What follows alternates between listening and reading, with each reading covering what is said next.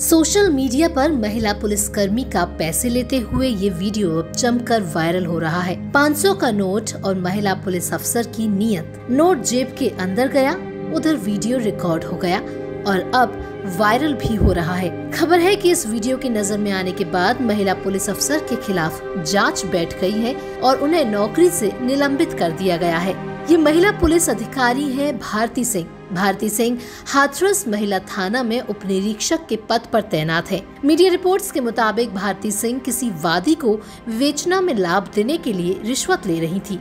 लेकिन उसी दौरान किसी ने उनका वीडियो बनाकर सोशल मीडिया पर अपलोड कर दिया। अब ये वीडियो वायरल हो चुका है, जिसके बाद हाथरस पुलिस अधीक्षक विकास कुमार वैद्य ने संज्ञान लिया और तत्काल प्रभाव से महिला उप निरीक्षक भारती सिंह को सस्पेंड कर विभागीय जाँच के आदेश दे दिए हैं। Bureau report, Sky News global.